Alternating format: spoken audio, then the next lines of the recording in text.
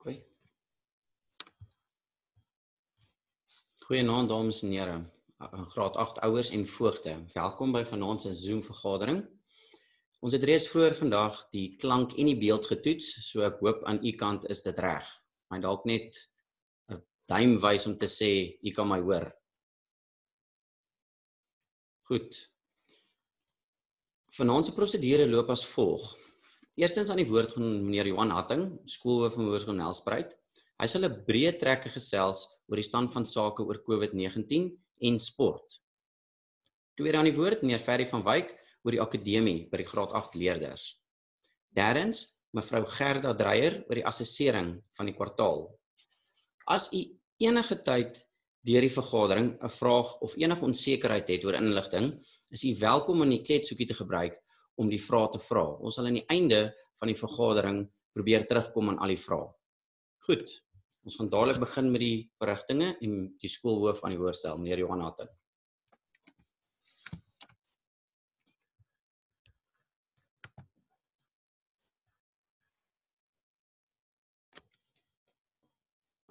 Net twee kies kom pers en so wat jy mag hou. Ekskuus dames en here, ek laat net nog so een of twee persone toe wat laat was vir die vergadering. Sy. Was hy.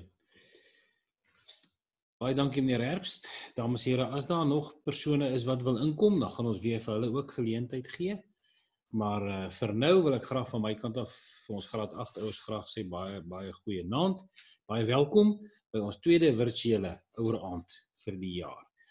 Dames en here, ek doen baie moeite vanuit my kantoor om ons kommunikasie met u as ouers goed en deeglik te kry en gereeld. Ek gebruik verskillende platforms. Uh hierdie is uit die aard van die saak een moontlikheid. 'n uh, kontakvergadering of 'n sigvergadering is nog beter. So ons doen dit ook graag. Ons het 'n D6 kommunikator wat ons gebruik, dames en here. Die skool se Facebookblad gebruik ons om met u te kommunikeer. Uh ons gebruik dan ook die WhatsApp groepe uh waar ons met die verskillende grade se ouers kommunikeer. So wat ek graag vir u wil sê is ons probeer regtig om inligting uh betyds en gereeld by u te kry en ek wil u graag uitnooi as daar enige inligting is wat u voel ons nie vir u gegee het nie of waar u behoefte het aan inligting, is u ook welkom om my per e-pos te kontak. Uh my e-posadres jhatting@nelliesha.verhoorskool.co.za en dan dames en here gaan ek regtig daarop reageer en sodoende met u kommunikeer. Ek wil graag 'n saak net uh, vinnig aan die orde stel en dit is dames en here Hoërskool Nelspruit is 'n openbare skool. Dit beteken dat die gemeenskap van Hoërskool Nelspruit 'n bepalende rol speel in die skool se bestaan en in die skool se bestuur en hantering. En dit maak dat die beheerliggaam van die skool wat in voeling is met die gemeenskap, dat hulle dan die geleentheid het om beleide te bepaal wat dan uh, vir ons rigting gee as ons by die bestuur van die skool kom. Ek stel hierdie saak net dames en here om dit baie duidelik te, te kry dat ons is nie 'n staatsskool wat ehm um, wat doen wat die staat verwag die skole moet doen en die agenda van die staat dryf en dis meer nie. Ons is 'n openbare skool wat die gemeenskap waarvan ons deel is ter wille is. En dit dit beteken dan ons nooi u uit om betrokke te raak by die skool. Ons nooi u uit om kontak te maak met die skool en met die beheerliggaamslede van die skool sodat dames en here ons die skool kan bestuur as deel van die gemeenskap. Uh die sake wat ek vanaand vinnig wil aanraak as ek kan voortgaan en dit is ek gaan so 'n bietjie oor die COVID uh, situasie van die skool gesels tans. Ek gaan so 'n bietjie gesels oor sportsake en dan oor die skool oor die algemeen. Dames en here, as ons oor COVID gesels, ehm um, ons probeer ook op grond van dit wat die beheerliggaam op die tafel gesit het, probeer ons hoërskool Nelspruit so bestuur dat ons binne die bepaalde COVID regulasies en uh, prosedures maksimum geleenthede gee vir ons kinders om te ontwikkel. Of dit nou kognitief is, en here, of dit nou uh, sosiaal is en of dit nou psigies is, ons probeer om die kinders ehm um, geleenthede te gee. Uh ek praat hier spesifiek van die sport waarmee ons so goed doen as wat ons kan en soveel daarvan doen as wat ons toegelaat word om te doen. Uh ek praat van saalopeninge, bymekaar kom geleenthede binne die bepaalde norme en standaarde en protokol van die COVID waar ons regtig probeer om weer die skool bietjie 'n eenheid te kry dames en here nadat ons verlede jaar ehm um, regtig uitmekaar uit uh, gebars het en in, in skoolhou tyd eintlik uh, moeilik gevind het met ouens wat dan nie is en dan nie is nie. So ons werk daaraan om die Nelly eenheid onder die kinders weer terug te bring. Gees van geleentheid wat ons verlede week gehad het, is ook 'n voorbeeld daarvan waar ons sê maar ons probeer regtig die kinders se lojaliteit teenoor die skool en se lojaliteit en liefde vir mekaar probeer ons weer aan die gang kry soos pre-COVID. En dit is dames en here hoekom ons daai tipe van goed doen. Ehm um, omdat ons die kinders ehm um, ter wille is en graag wil hê dat ons agterstande uitwis, het ons ook 'n besluit geneem en dit gaan die later in die vergadering hoor dat ons dan ook ons assesserings vir die Junie eksamen of die Junie tyd wat dan nou eintlik maar 'n eksamen is dat ons dit gaan doen. Ons beskerm dames en here ons akademiese tyd maksimaal. En en, en daarvoor uh, gaan ek vir meneer van Wyk geleentheid gee om so 'n bietjie meer daaroor te gesels. Hierdie alles doen ons terwyl ons nog steeds elke dag al die leerders sif. Uh dames en here terwyl ons nog elke dag die uh, temperature van die kinders bepaal, hulle hande saniteer, maskers dra, die skool skoonmaak, die kleedkamer skoonmaak, die kantore skoonmaak uh en ontsmet en dis meer. Maar dames en here, ten spyte van al hierdie dinge, lyk dit tog vir ons uh of die infeksiekoers nasionaal maar ook in Mpumalanga besig is om 'n bietjie toe te neem. So by Hoërskool Nelspruit monitor ons die situasie en ons sal uit die hart van die saak ook nie skroom om addisionele stappe te neem indien dit nodig is om die verspreiding van die virus by Hoërskool Nelspruit verder te beperk nie. Dit kan insluit dames en here dat ons dan so skole en ander skole dat ons dan dalk eh, sportgeleenthede gaan stop of dat ons dalk uh miskien die skool op 'n stadium sal ehm uh, versoek dat die skool toegemaak word. Sou dit nodig wees dames en here wil ek vir die versekering gee dat ons die stappe sal doen. Op hierdie stadium kan ek egter getuig dat buiten vir een personeellid dames en here is daar nie regtig ehm um, ander positiewe gevalle van kinders wat uh siek is wat ons van kennis dra op hierdie stadium. Nie daar hier en daar 'n kind wat isoleer omdat 'n ouer positief getoets het maar in terme daarvan dink ek is ons geseënd en gaan dit goed. Kom ons hou dit so dis enetjie versoek. Ek vra tog maar nog steeds vir u as ouers dat u asseblief nie 'n siek kind skool toe stuur nie. Dames en here as 'n kind positief getoets het dat u asseblief vir ons sal laat weet sodat ons die protokolle kan volg. En dames en here uh ons vra ook dat ehm um, dat u u kind weghou van samedrommings van kinders waar hulle by partytjies betrokke is of kuiergeleenthede sonder maskers en dan so en so meer wat wat baie maklik 'n superverspreider kan word van die virus vra ons maar dat u asseblief daar ook verantwoordelik sal optree en die kind maar liewer by die huis sal hou uh of dan nou op 'n verantwoordelike manier met hierdie goed omgaan. Dames en here, ek haas my om so 'n bietjie oor die skoolsake verder te gesels. Uh ek wil graag tog maar vir u weer 'n beroep doen op u. Betaling van skoolgelde is in hierdie ekonomiese tye steeds 'n uitdaging. Ek verstaan, dames en here, maar ek vra dat u as ouers ook hierdie saak vir ons sal prioritiseer. Want dames en here, sonder die nodige fondse kan ons nie die gehalte onderwys bied by Hoërskool Nelspruit en die gehalte geleenthede vir ons kinders bied wat ons graag sou wou Dames en here, as ek 'n bietjie by die buitemuurse program kan uitkom. Ons het verlede kwartaal afgeskop met die buite buitemuurse program en dames en here, hierdie kwartaal gaan dit voort. So ek wil omdat ons hierdie buitemuurse program aan die gang het, wil ek tog 'n paar saakies onder die aandag bring. Eerstens wil ek regtig vir u sê dat ons as personeel het waardering vir u as ouers wat bereid is om die sportkinders en die kultuurkinders heen en weer te vervoer tot in die aande toe toe te rus, dames en here met die nodige toerusting wat hulle moet hê uh om hulle emosioneel te ondersteun. Baie dankie vir u as ouers om hulle finansiëel te ondersteun. Dis alles dinge wat in 'n buitekurrikulêre program vir u as ouers nodig is om dit vir u kind moontlik te kan maak om deel te wees van sport of van kultuur. So daarvoor het ons baie groot waardering.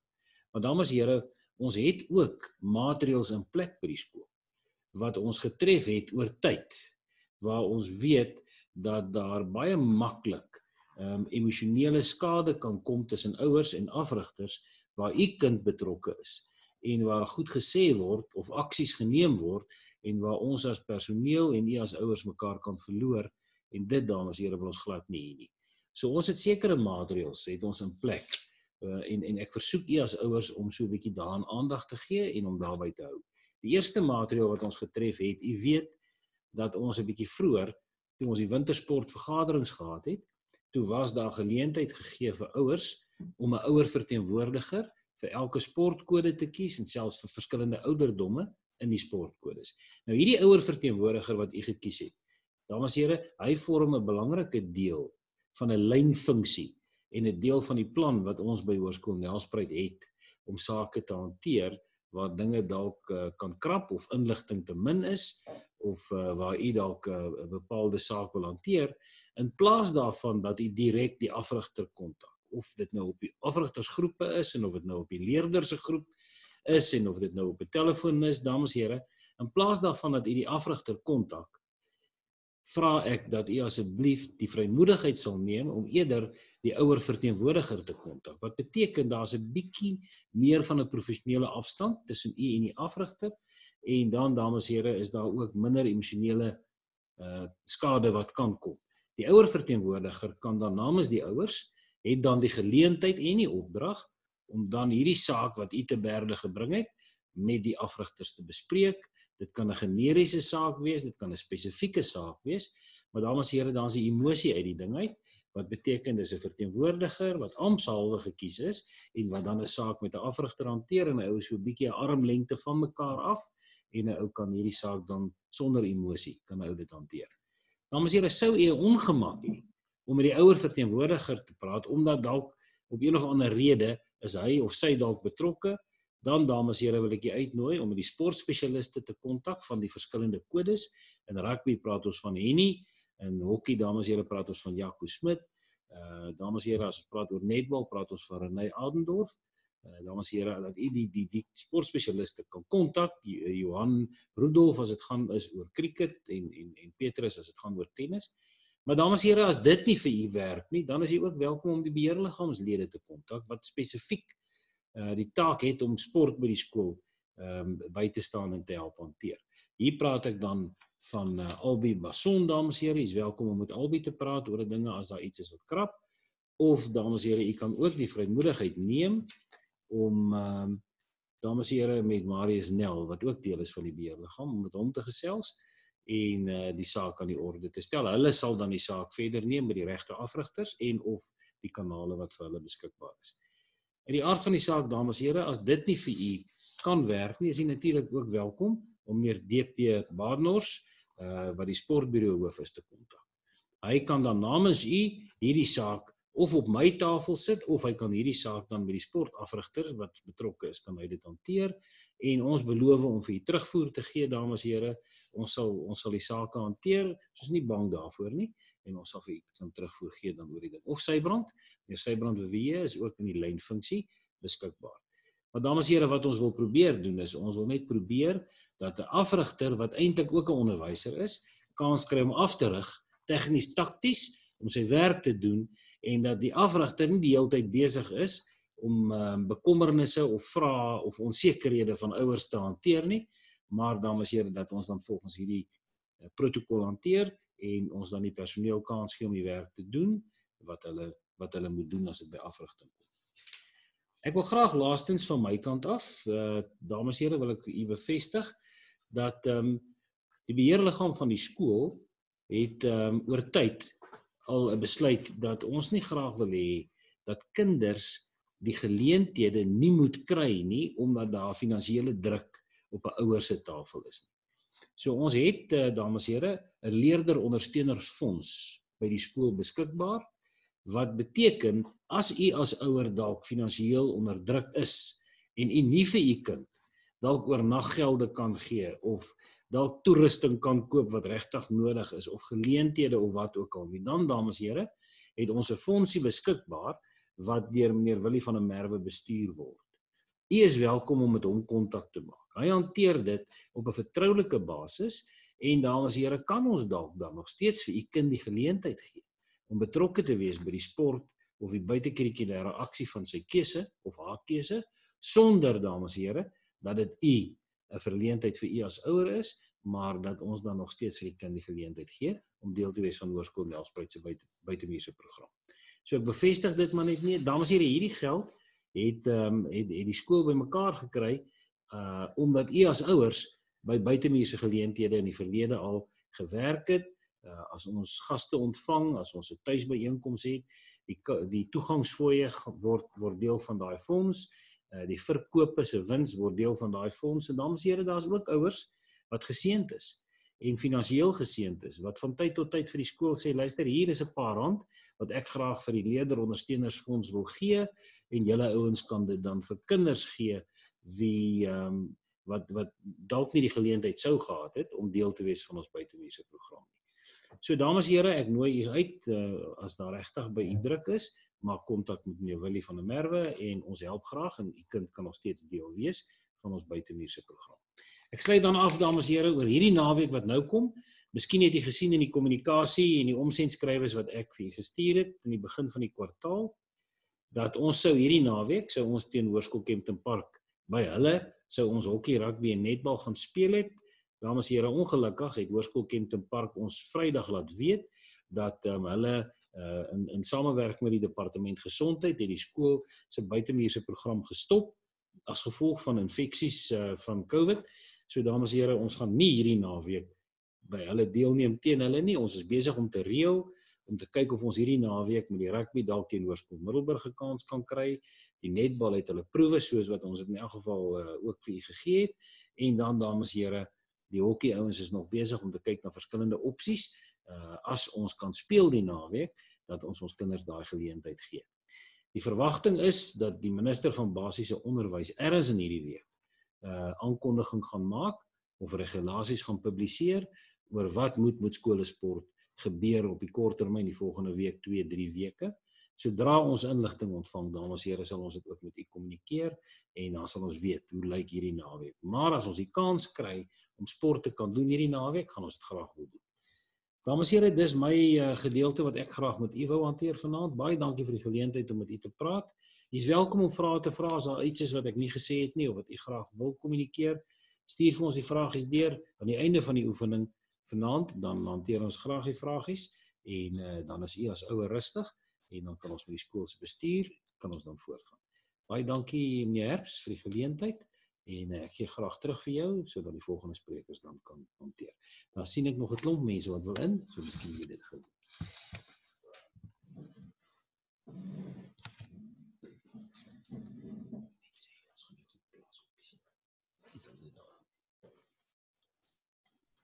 Dames en here, ek laat net nog so, ek sien ons is daarom nou al amper 110 in die vergadering. Volgende aan die woord gaan ek net vir meneer Ferry van Wyk gee om te praat oor die akademie vir graad 8 leerders. Dankie meneer Ferry. Dit my sê. Okay. Goeienaand, dames en here. Ek net vinnig hier admit all dat ons net nog daai drie mense wat in die wagkamertjie is ook kan toe laat. Nee, Herbs met my help. Oh, they're joining. Wonderlik. Ehm um, kan ek net hier oopmaak? Ek daar moet ek wat moet ek doen? Share. Mhm. Mm Share screen en ouer vergader. Ah, wonderlik. Wonderlik. Ehm, um, ekskuus tog, goeienaand weer dames en here. Ek gaan my masker afhaal sodat ons bietjie duideliker deurkom. Ek is 'n kurrikulumhoof van die senior fase en uh, ons praat so 'n bietjie akademies so na die eerste kwartaal. Ehm um, ek gaan 'n um, bietjie later oorgie aan juffrou ehm um, of mevrou Gerda Dreyer. Sy sal oor spesifiek oor assessering en so aan praat.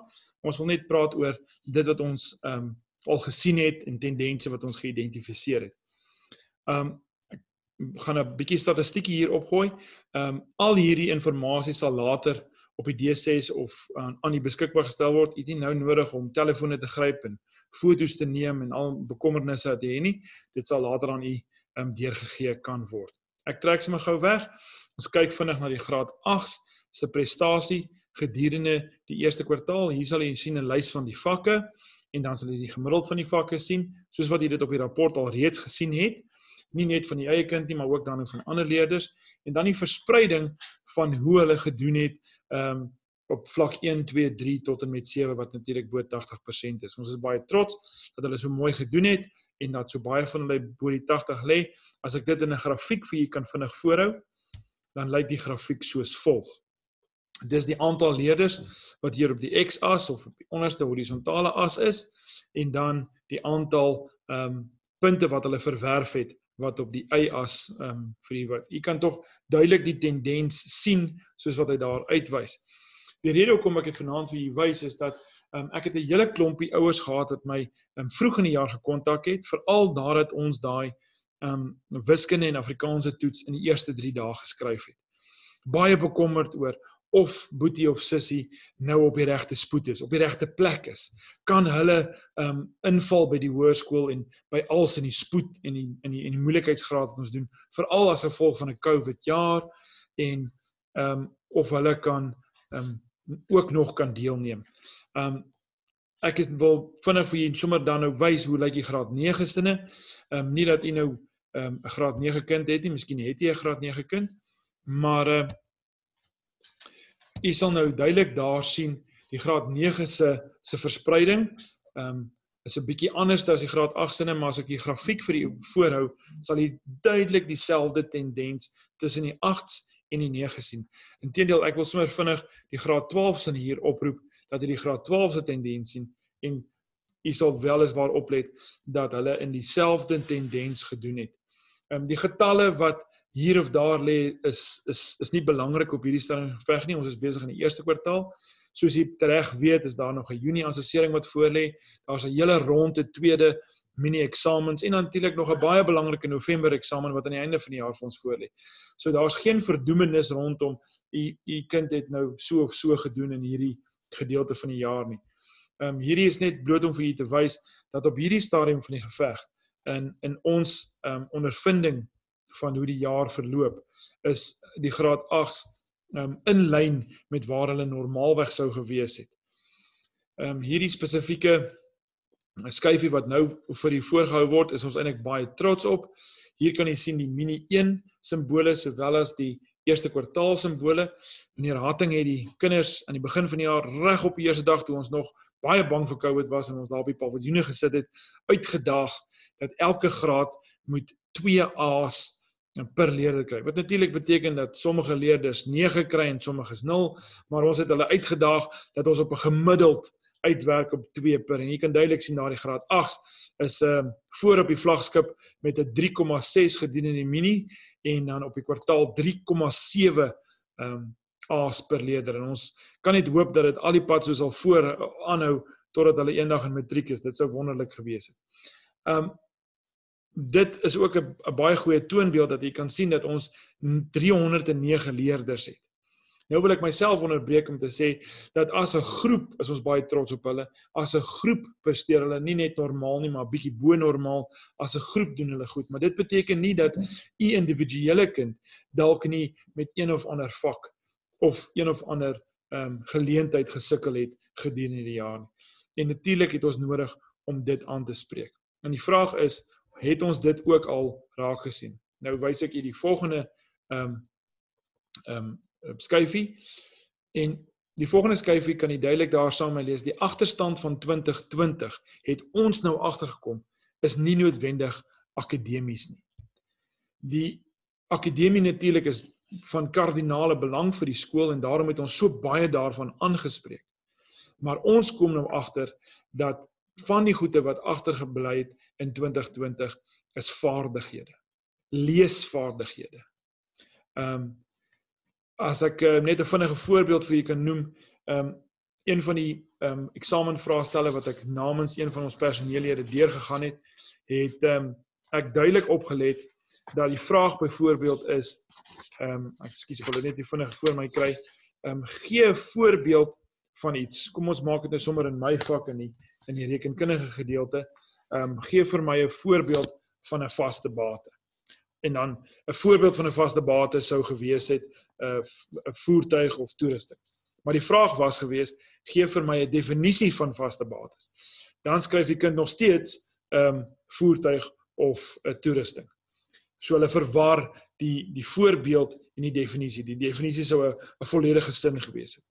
Um eintlik reg deur die vraestel veral in die vakke wat 'n bietjie meer um verduideliking is. Met ander woorde, nie analities is soos wat wiskunde of fisiese wetenskappe is nie. Die SW. Ehm um, ons vind die kinders se huiswerk, ons vind die kinders se skryfvermoë is is in agterweeg gelaat. Hulle kan hulle self nie uitdruk nie en wanneer hulle self uitdruk, dan druk hulle hulle self swak uit.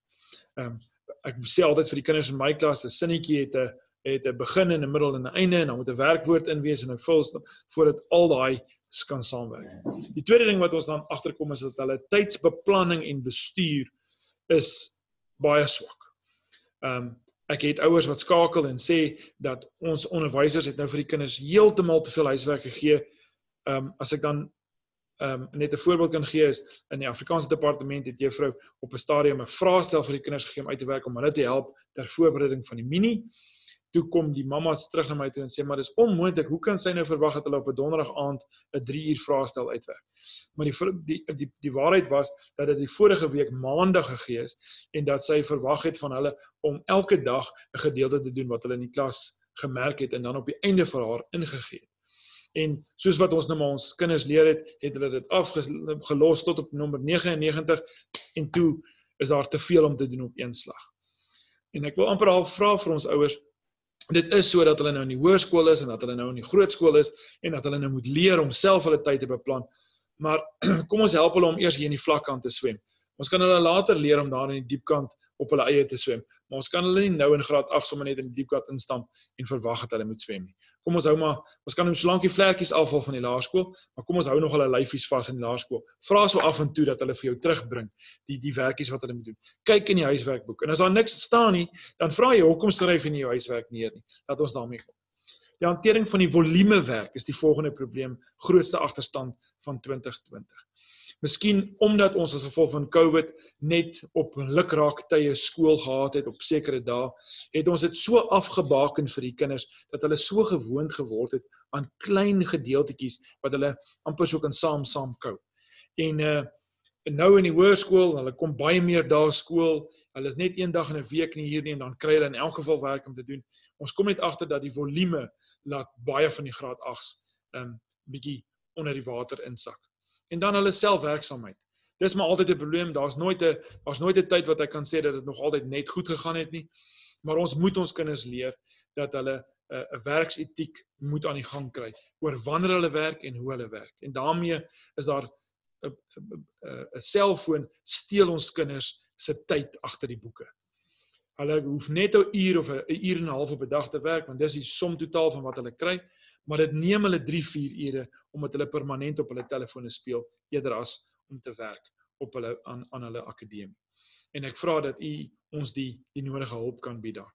Ek gaan um, nou vir mevrou Dreyer oorgie dat sy verder oor die Junie assessering praat, maar ek wil graag dan sê dat saam met hierdie gesprek wat ons nou het oor 2020 en die Junie assessering wat 3 weke weg is, vra ek dat u sommer nou al met u kind begin praat sodat ons kan begin praat oor hoe hy gaan en sy gaan voorberei vir die eksamens.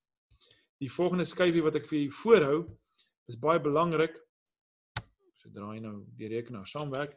Hierdie is die ehm um, skedule vir wiskunde ekstra klasse vir graad 8. En soos jy kan sien, is daar 8 geleenthede waar kinders kan ekstra klasse bywoon.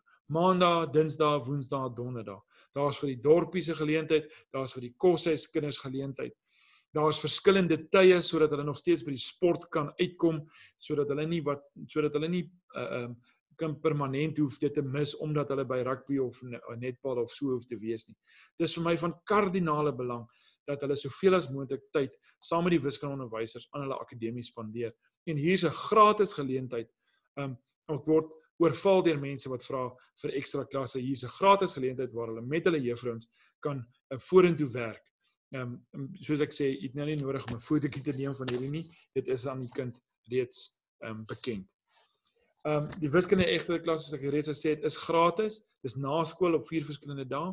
Daar is ook ekstra Afrikaanse klasse op 'n maandag kwart oor 2 by juffrou Bessie Breitenberg en by mevrou Trudy van Wyk. Dis vir so uur lank. Dit word permanent gratis vir graad 8s en 9s aangebied.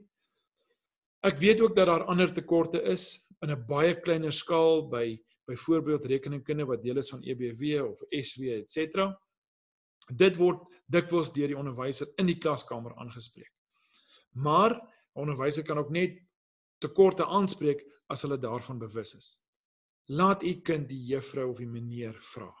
En vra hulle, hulle is meer as bereid om dikwels kinders te help, selfs in 'n pouse as hulle 'n geleentheid gehad het om om om oor iets te vra, meneer, ek verstaan dit nie, kan ek asseblief net net weer 'n keer dit hoor, kan meneer dit net weer vir my sê. En dan natuurlik ons Google Classroom. Ons gebruik hom nou as 'n volledige argief vir alle vakke. Ehm um, en baie van die onderwysers sit soveel meer op as net die lesse wat hulle in die klas gedoen het. So wat ons aan die aan dames en here gevra het was om aan hul aan elke kind sodra ons met 'n afdeling of met 'n werkkaart of so iets klaar is, dan plaas hulle dit op Google Classroom tesame met die die nasien riglyn of die memo van daai gedeelte sodat wanneer u nou begin voorberei vir eksamen dat u hierdie argief kan gebruik om dit weer na te gaan om dit weer oor te doen. 'n 'n 'n pappa het my nie lank terug gevra nie, hy het gesê hy soek nie meer van dieselfde sommetjie nie, hy soek die verduideliking van die sommetjie sodat hy weer daaroor kan gaan saam met sy kind. Ek dink baie keer is hy dit meer nodig, maar dis ook goed so. Nou is dit op Google Classroom. Ek sien die die die onderwysers sit PowerPoints op, hulle sit verduidelikings op. Dit gaan dit gaan u baie behulpsaam wees. Ek haas my om klaar te maak om van mevrou Dreyer te kan oorgee. Net 'n vinnige laaste twee skyfies. Ehm um, daar's die datums vir die Junie assessering sowel as die afbakerings wat uitgegee het. Ons het die ander onderwysers gevra om tussen 'n uur en 'n uur en 'n half maksimum vir die vraestelle te wees, maar ek wil vir julle sê dat om um, 9 vraestelle in 7 dae te skryf of hy net 'n uur lank of 'n uur en 'n half lank is, gaan nog steeds 'n baie baie groot ehm um, eis op u kind wees. Ehm um, ek maak nou klaar deur om um, voordat ek weggee. Ek wil daarom net vir julle sê dat op Suspect Global, Global, ekskuus tog, Suspect Global kan jy met u kind se toelatingsnommer inskakel by die skool en permanent toegang hê tot u kind ehm um, se punte sowel as sy of haar wangedrag. Die die debit en kredietpunte is daar. Ehm um, af en toe dan skakel ek 'n ouer en dan sê ek Boetie is nou by 200 punte. Die eerste 100 het gebeur en toe het ons met hom gepraat en hom gewaarsku. Toe kom aan nou tweede 100 punte en dis 'n groot verrassing vir mamma wat gedink het hy doen elke dag al sy huiswerk en hy's baie soet. Dis nodig dat u u vergewis daarvan want dit het 'n groot bepalende invloed veral as dit 'n 10 keer se huiswerk nie gedoen nie, huiswerk nie gedoen nie, huiswerk nie gedoen is nie. Dan ehm um, wil ek dan ook vir julle uitnooi om op die D6 te kyk. Daar's 'n klomp assesseringsroosters en en so aan daarop, sowel die mini-eksamenrooster wat eers in die 3de kwartaal is. En ek wil sommer nou al waarsku. Jy sal sien op daai mini-eksamenrooster dat dat aan die einde van die 3de kwartaal is daar twee vraestelle van die November eksamen wat al in die 3de kwartaal geskryf gaan word. En daar's geen rede om dan ehm um, vroeg te begin met vakansie nie. Dieselfde geld vir hierdie kwartaal wanneer ons Junie eksamen of ons Junie assessering eindig, dan het graad 8 nog 3 weke skool. En daar gaan nog mondelinge wees, daar gaan nog klastoetse wees. Ons gaan vol skool gaan in daai tyd en ek en ek vra u om ons as onderwysers en die kurrikulum te ondersteun in hierdie manier om seker te maak dat ehm um, al die kinders elke dag by die skool is. Natuurlik soos wat meneer Hatting gesê het, gesonde kinders by die skool is en ons hoop om hulle ehm um, reg voor te berei vir hierdie komende uitdagings. Baie dankie. Ekskuus dat ek so vinnig gepraat het. En ek ehm um, gee nou terug vir meneer Herbs. As daar enige vragies is, moenie skroom om te vra nie.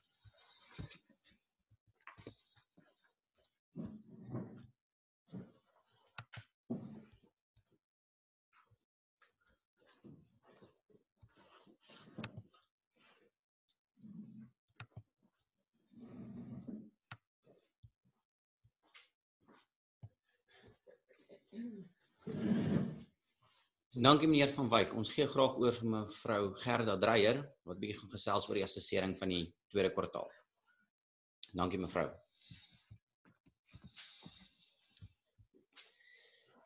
Gesê, dankie meneer Herbs. Ehm um, dames en here, ja, ek is Gerda Dreyer. Ek is een van die graadvoogte van die graad 8s en ehm um, dan is ek ook in beheer van die Junie assessering. Dis eintlik maar waaroor ek vanaand met u wil praat.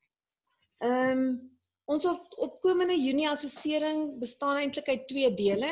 Die junior deel is eerste en die senior deel is dan tweede.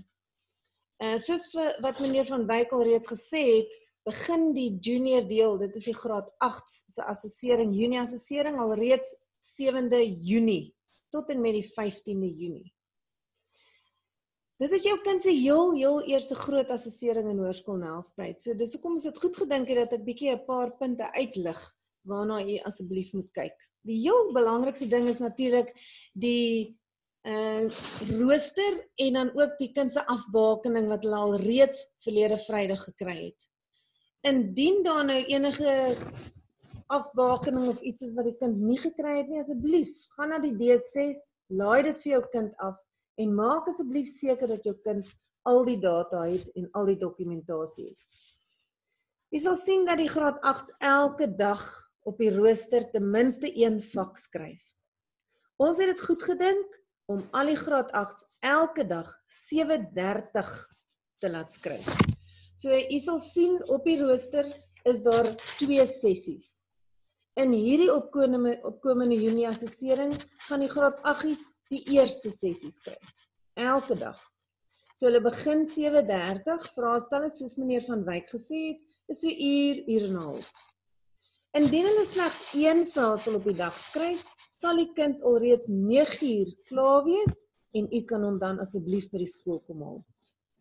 Daar is egter 3 dae wat die leerders twee assesserings op die dag skryf. Hy sal wel al twee in die eerste sessie skryf, maar ons gaan vir hom 'n breek gee tussenin sodat hy gou badkamer toe kan gaan en gou 'n koeldrankie kan drink. Maak net asseblief seker op die rooster ehm um, na die tye. Ons het dit mooi daar uiteengesit So as daar enige vrae is, asseblief kontak die skool en dan sal ons u bystaan. Ehm um, wanneer die kind twee sessies skryf, sal hy ook sien hulle sal dan skryf, hulle begin 7:30 en dan sal hulle klaar wees om 10:30 waarna u hulle kan kom haal. Dit is baie belangrik dat die graad 8 goed voorberei vir hierdie eksamen. En nie eers wag tot binne in die assesseringstydperk nie, want dan gaan dit te laat wees. Meneer van Wyk het klaar vir u gesê hulle skryf reeds een vraestel per dag vir die 7 dae en partykeer twee twee vraestelle. So asseblief help die kind om vroegtydig te beplan, om vroegtydig voor te berei. Die onderwysers staan ook gereed in die klas om die kinders daar te ondersteun. Praat bietjie skooldrag. Nou weet ons kinders kry maar koud as hulle so moet stil sit vir 'n uur, vir 'n uur en 'n half. So eerstens moet normale skoolklere gedra word. Indien leerders egter baie koud kry, gaan ons slegs die vergunning vir die Junie assesseringstydperk. Dit is nou vir julle kinders van die 7de tot die 15de. Gee ons hulle vergunning om natuurlik die hoërskool Nelspruit sweetpak te mag dra. Dit moet egter die hoërskool Nelspruit sweetpak broek met die baadjie en Nelly Guts onderaan wees. Asseblief, ondersteun ons asseblief hier dat jou kind nie sommer enige sweetpak aantrek of iets nie. En die dogters, daar's 'n wintersdrag ook vir die dogters waar hulle wel 'n wit langmou hemp kan aantrek met die das en dan ook swart sykouse. Indien daar enige navrae is, kan jy asseblief die skool kontak. Dit bring my by die laaste punt. Meneer van Wyk het dit bietjie aangeraak. En asseblief Dames en here, ons ons vra asseblief u ondersteuning hier. Die graad 8 skryf nou van die 7de tot die 15de Junie. Die 16de Junie weet jy is 'n vakansiedag en dan die 17de Junie kom die graad 8s normaalweg terug skool toe. Hulle sal in spesifieke klasse ingedeel word en hulle gaan al normaalweg skool gaan. Hulle gaan eerstens Junie assesseringsvraestelle terugkry. Hulle gaan die punte kontroleer En dan gaan die onderwysers doeteenvoudig aan met die kurrikulum vir die res van die jaar. U moet asseblief ons ondersteun hier want hier gaan nog addisionele assessering plaasvind soos normale klastoetse en mondelings soos wat meneer van Wyk gesê het. Ons sê vir u baie baie sterkte met hierdie eerste groot assessering van die kind in die hoërskool. Asseblief hou hom rustig. As daar enige vrae is, laat hy sy onderwyser vra laat hy sy graadvoogte kom vra. En as daar enige navrae is, asseblief e-pos die drie graadvoogte en ons sal u ondersteun daar. Dankie vir u luister vanaand en ek gee weer terug aan meneer Herbs.